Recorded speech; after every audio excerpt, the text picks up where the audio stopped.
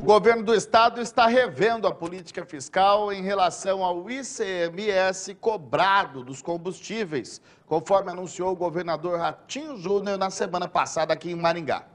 Uma das medidas pode ser a redução do imposto sobre o combustível de aeronaves, o que poderia impulsionar ainda mais o desenvolvimento do setor no Paraná. No mínimo três vezes por semana, Fernando viaja de Curitiba para Maringá para prestar consultoria na área industrial.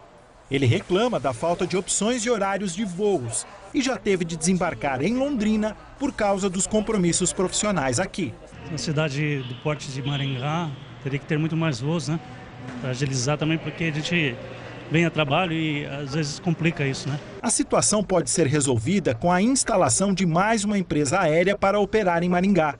A cidade tem duas companhias, com voos que saem daqui, principalmente para Curitiba e São Paulo.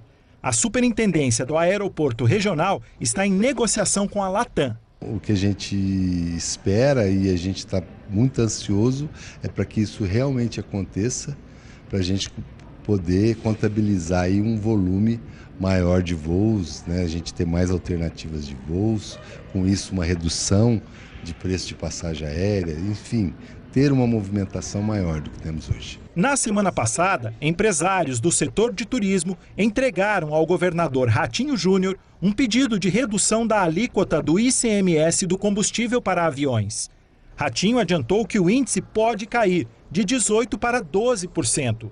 No começo do mês, o estado de São Paulo reduziu de 25% para 12% e Tocantins de 14% para 7%. O Paraná já tem, é um, São Paulo anunciou agora esses dias, mas São Paulo tinha 25% é, o imposto CMS lá na, no preço da querosene. Aqui é aproximadamente 15%. Então nós já temos um preço abaixo, mas a gente quer chegar também, diminuir ou criar um ambiente para que eles, em contrapartida, aumente o número de voos é, em cidades importantes como Maringá, Londrina, por exemplo. Além do aumento no número de voos para a maioria dos aeroportos do Paraná, a redução do ICMS sobre o querosene também pode representar economia para os passageiros, com uma diminuição no valor das passagens, já que o custo com o combustível representa cerca de 26% dos valores para as companhias aéreas. E aí já é melhor, né? Porque ter que ir para Londrina só para pegar um voo que seja mais barato acaba também acrescentando no custo, né? Então,